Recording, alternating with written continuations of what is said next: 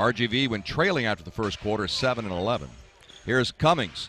Puts it up and in from three point. That was a good step behind the arc. First quarter, up down to seven, now at 10. Here's Cummings. He thought about launching a three. He'll take Pargo to the hole and lays it off the glass on the reverse side. Lead for Oklahoma City. They led it by 19 in the first quarter.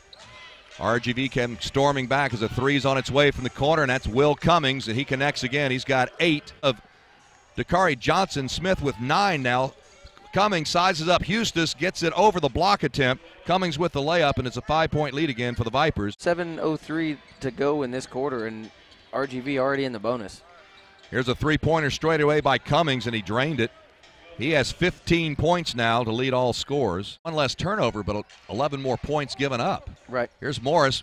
Cummings thought about a three. Now step back three over T. Got it. Good grief. Will Cummings deadly.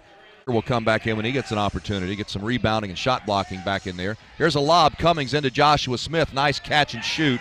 He lays it in.